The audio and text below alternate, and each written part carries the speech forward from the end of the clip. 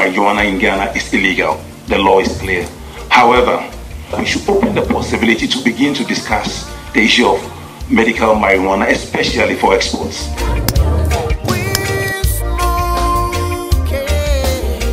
Anytime you find people going on a robbery spree, and their prayer material is cannabis. They use weed or ganja or bonsam tawa.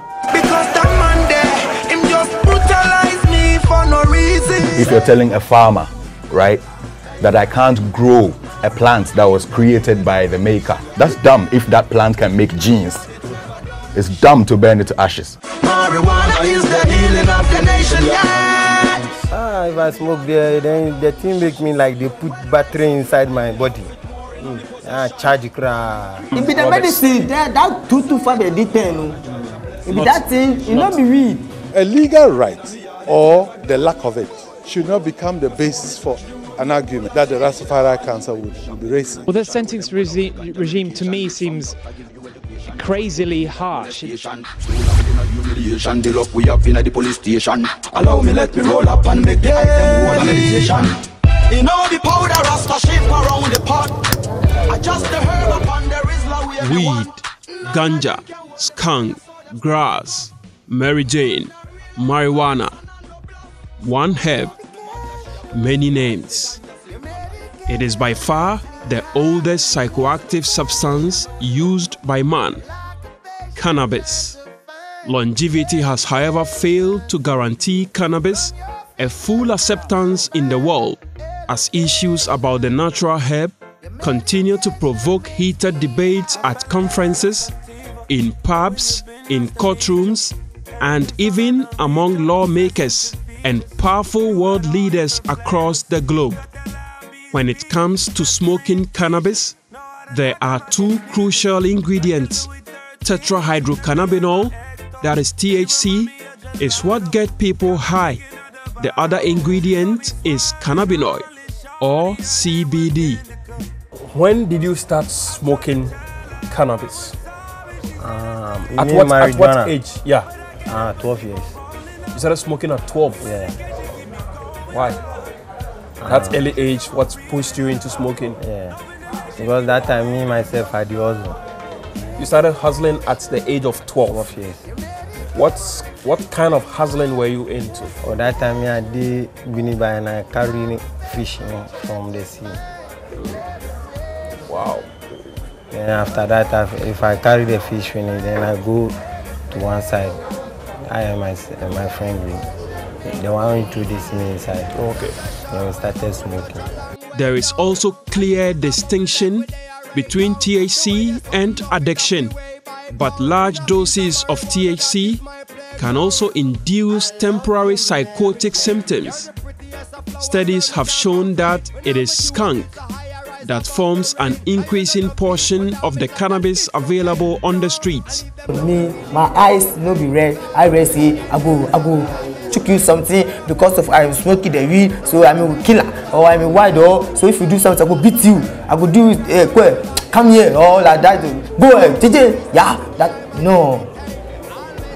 Or you would do some kwache and all of that. that aqu- aquashe or me i don't like that thing that you are smoking drinking. Take tramadol d10 rafinol hey human being you go take some medicine be ah, if you take the medicine finish after right now you, you go buy weed you go smoke. Then you go finish you go buy hashish you go smoke. You take tramadol d10 weed hashish. Eh, your memory eh, if your memory dey hundred percent e go come twenty percent you go do something wey human being wan do. But making a highly addictive drug more accessible will only create more problems. What we really need to do is use evidence to show people that cannabis is less harmful than, say, tobacco or alcohol. And at the minute, cannabis is really the the purvey of uh, criminal the criminal market, and so we have no control over it. So if children want to get their hands on it, all they need is some money to pay for it. And actually, if we change the law and we end criminal sanctions so that people feel that they can get support if they need it, and then explore whether we should regulate cannabis and whether we should put in age controls and product controls in order to protect people from the really harmful type of substances that are out there. Best friend Keisha, know how to knock them out their sneakers, like that Louis 13. Anytime you find people going on a robbery spree, they do a dress rehearsal and uh, their prayer material is cannabis. They use weed or ganja or bonsam tawa. Sheikh Ibrahim Ibn Sana is a public health practitioner and a senior pharmacist at Korle Bu Teaching Hospital and is CEO of Medtown Pharmacy Limited at Abossey Okai in Accra. His second degree thesis was on the impact of marijuana on the youth. You can have the injections. There's a concoction prepared for marijuana. And you can use the, the, the, the, uh, the one, the sniff. There's a sniff for marijuana. And then there's an enema for marijuana. You just made a point about injecting marijuana. Yes. Are we then heading towards competing with heroin? How we I think that I and now we think that injecting policy makers must pay attention to the topic of marijuana, to marijuana, because it looks as if we are dancing with the issue, and there are politicians out there and some other people, musicians and others who think that they have smoked marijuana, they are fine, and therefore they dance with the issue and tease it, make it pleasant for the public. Recently, when there were calls for marijuana legalization, I realized that people were speaking out of sentiment. And some other people were speaking from the group point of view, trying to defend their group, who were probably, you know, in quote, seen as marijuana users. So definitely, we must defend our group. But the reality is that marijuana is no joke. But Steve Rolls of Transformed Drug Policy disagrees. The internationally acclaimed advocate for the decriminalization and depenalization of cannabis says the current draconian law in Ghana and the African continent is best tailored for drug lords who are engaged in organized crime and money laundering. If people are uh, organized crime are involved in the drugs market and they are violent or they are involved in corruption or money laundering. Clearly, we need to address that. I'm not saying there is no role for enforcement, but particularly for people who use drugs, for drug users, um, an enforcement approach. Historically, around the world, it seems that it, it not only doesn't work, it doesn't get rid of drugs, it actually makes things worse. It can encourage more risky behaviors. In Ghana, for instance, users you go into prison for not less than five years. If you're a dealer, you go in for not less than 10 years. What do you make of this sentencing regime? Well, the sentencing regi- regime to me seems crazily harsh. It's very, very strict. But Steve Rolls is not alone in this. The executive director of the Ghana Standards Authority, Professor Alex Dodoo, has over the years questioned why Ghana and countries on the African continent continue to confiscate and destroy cannabis. According to a United Nations Office on Drugs and Crime report, Ghana emerged leader in the production, packaging, and consumption of cannabis globally in 2014. The country has, however, lost two places and now sits third on the global ranking. Much as the, I mean, the use of marijuana in Ghana is illegal, the law is clear. However, we should open the possibility to begin to discuss the issue of medical marijuana, especially for exports. And why is that so? Countries like several states in the US, the whole of Canada, Uruguay, etc., etc., have now legalized marijuana for medical use and some of them for social use.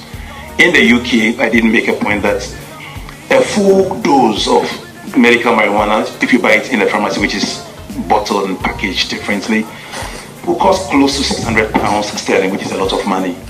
In the countries where it's being produced actively, and I, I would mention the UK, the national security as well as the narcotics control agencies control those areas as zones of it, producing gold for that matter, and that is what they do because the potential for abuse, for stealing, for pilferage become high.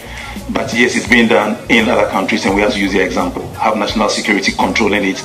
The the cultivation, the for the whole value chain is rigorously controlled, not just for the uh, financial reasons, but also because there's always a potential for uh, pilferage and uh, leakage and um, leading to um, social use. That position has been disputed by conservatives who argue that call to liberalize and depenalize the highly controversial substance must be cautious.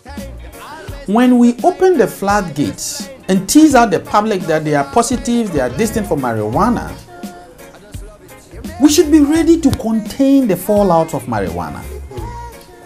The reality is that marijuana poses a dangerous threat to our country's development. From the research I did, large chunk of the youth from the age 15 to 45 they are the majority users of marijuana. When your character and your attitude become consumed such that you become a slave of marijuana, then your country is finished. Because courtesies, normalism, and other things that you think are needed for social cohesion becomes a thing of the past. People become more daring, and marijuana uses from various research across the country, across the world, are associated with violence, associated with crime. Marijuana is also associated with teenage pregnancy. Okay? And marijuana accounts for the largest number of cases for the cases, all the cases you can find in psychiatric hospitals. Meanwhile, a document cited by Joy News shows that the government of Ghana in the run-up to the 2016 United Nations General Assembly special session on the world drug problem constituted a technical committee with the mandate to come out with a position paper for the consideration of an interministerial national steering committee. After several meetings and deliberations, the technical committee, among its recommendations, found the PNDC Law 236 not in tune with the current global dynamics regarding the legal regime on cannabis and recommended, quote, that the PNDC Law 236 be reviewed to give legal backing to decriminalization of marijuana and other drugs that are possessed for personal use. Legislations pertaining to narcotics, especially PNDC Law 236, be amended to decriminalize the use of marijuana.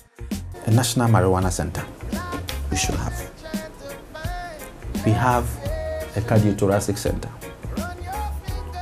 We have set up national tuberculosis centers. We have set up national diabetic centers.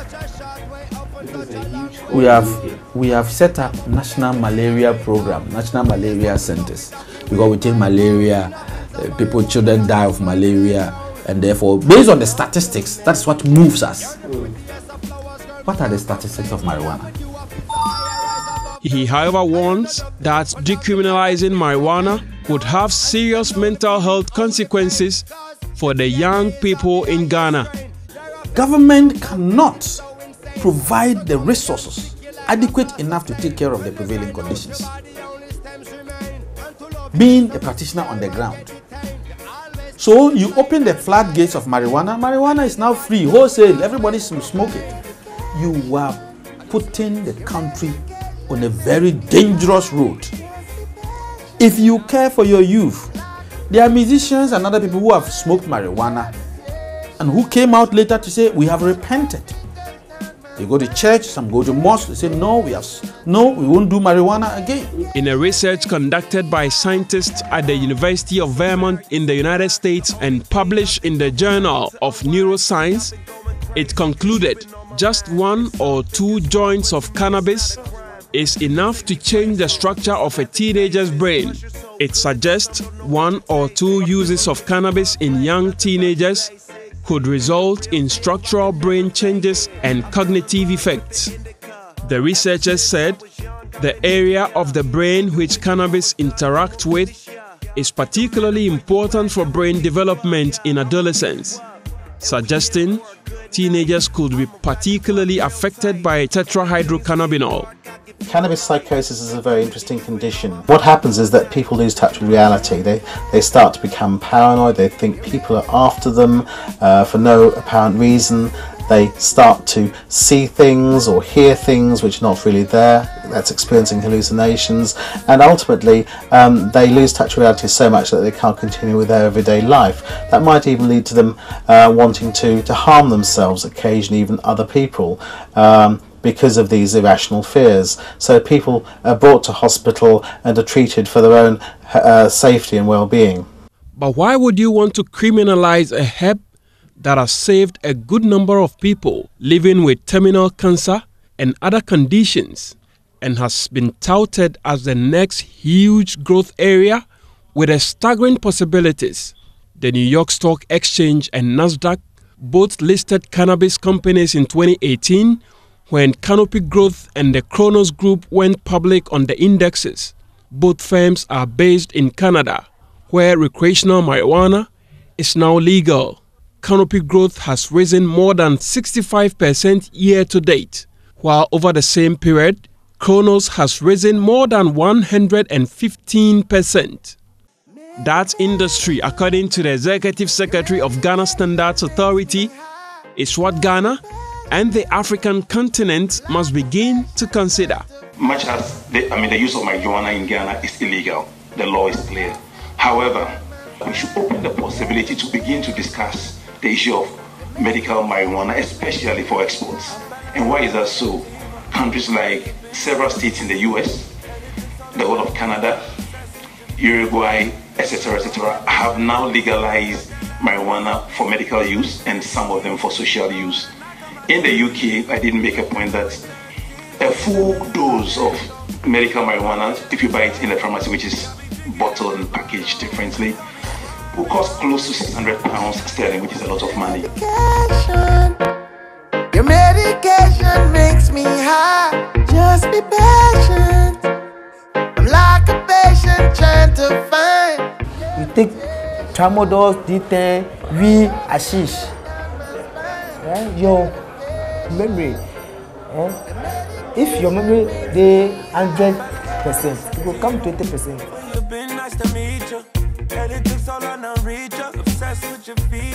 Here is a user of cannabis. He has asked us not to mention his name on this program, so I want to call him Maxwell.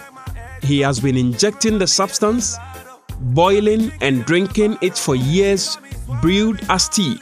Sometimes, when he wants to get high, he would smoke the skunk and the leaves in its raw state. Maxwell has been doing this for the past 10 years. It's good for me. Hmm. And if it's not good for you, don't take it. Hmm. Yeah, it's not good for you, don't take it. By me, it's good for me. Hmm. So tell me about. You say it's good for you when you take it, you're able to work Work faster. faster, smart, knowledge, keeping knowledge, everything. What what the knowledge that I don't like fight. Me, I don't fight. And if I smoke, if ask me a question, I will answer you. My everything is good. If I am doing something, I take my time and I do it. But if I not smoke the weed, I go make worry. I can't do anything. If I wake in, early in the morning, I will go work. But if I smoke the weed, it go it, like the weed, you go pressure me say go work, go work. But experience is different for Yabute. He says consuming the skunk makes him violent. afternoon, evening, every day, police in our house. And if the police too come, then me too I come out for house. Yabute started smoking cannabis when he was 12 years. the first time I was a drunkard. And my friend was teasing me that eh, if I drink then I'll be loose inside the gutter doing something. And he introduced me to the weed that if I smoke I'll be intelligent, I'll be By me myself, if I, And did you, before you continue, did you get that from cannabis? What your friend told you about Yeah, it? yeah. When you started smoking, did you see that effect? yeah, the time I started smoking, I did not see any. Did you get smarter when you smoked cannabis? Ah, if I smoke there, then the thing make me like they put battery inside my body. Mm. Ah, charge cra. You charge, then when, when you get charged, what do you do? Oh, anything that come on my way. If it anything me I see with my eyes, no, make me action, I'll go action. Eh, if I see even somebody money, I take. Maxwell disagrees. He draws a clear distinction between marijuana and crime. I dey leave the armed robbers. They attack you. Why? But some of it's because some of you smokers or users of cannabis are also armed It be the medicine. That that two two five a day ten o. If Not- that thing, e no not- be real. You disagree with that? Are you see? You get some so many so medicine like something like tramadol, uh, D10, Rafinol, and that thing. Do, do you do all those drugs? No, it's not good. Why? You go take tramadol. Why? Are you a, a, a ox? Ox? Ox take the tramadol. If not the ox, you can't take the tramadol. You are only That's, that's not true. That's not accurate. the tramadol is not good. By SB. It's not good when you abuse it. Yabute, however, justifies his position, saying 13 years of smoking the substance brought nothing but troubles to his family, particularly his mother, who was always bearing the brunt. Every day, my mother, police station, my father, police station. Sometimes my sister will come and worry me, stop this, stop that. And, and me too, the way I'm with my sister, the way he's acting, I check and I have to stop and listen to my sister. Mm. Maxwell argues that cannabis users who commit crime do other harder drugs in addition to cannabis. you, you go buy weed you go smoke. Then you go finish you go buy hashish you go smoke. You take tramadol d10 weed hashish. Eh, your memory eh, if your memory dey hundred percent e go come twenty percent. You go do something wey human being no do. You go attack somebody why why if you you no take any any nothing wey you dey sitting down you dey smoke the weed hmm go keep long. Reformed Yabute wants the law to stay as it is. Yeah, yeah, I support because me have stopped, so I have to let everybody stop. Yes, I stop. Ah, even if you, you take me to the station to go and talk to let them stop, I will do. I will go. Ah, because they are worrying us. Me I smoke and I see no good. I stop. Every day problem, problem. But Maxwell continues to argue that it is time for Ghana to take another look at the law that criminalizes the possession and consumption of cannabis in the country. right now i dey smoke i no be small boy i dey work myself i dey get money Relax, relax. The smoke, let the smoke settle down and then you shit o it's sweet. sweet. So right now me me myself me i wan say the like na na say everybody smoke. You you ah why? If i smoking you are okay. But police people so to the they are well they are do their them are well but they leave the armed robbers they attack you why But some of it's because some of you smokers or users of cannabis are also armed e be the robbers. medicine that that two two five a day ten oh. o e be Not- that thing no not- be real. They've also been called by celebrities in both the music and movie industries for a rethink of the current legislation. Christian, Jews, and Muslims singing prayers to God on high. Rejoice, house of Judah, the lion is in Zion, breaking every chain to set the captives free. So here I am with my voice. Rocky Dawuni is a humanitarian activist and a global Afro roots artist. He tells me Ghana's signatory to international conventions on cannabis, based on which some countries are legalizing the substance, makes the country's legal regime null and void. Any new leadership we have, any economic ideas, we either go to the IMF or we go to, you know, other donor countries, China, to go and borrow money to come and invest in infrastructure, invest in education. How did they make their money? Well, they created their reserves from being involved in, in this industry. But we don't think that we are, you know, we go to banks and take money, but we don't look at what, where the, the, the capital and all, all of that stuff came from.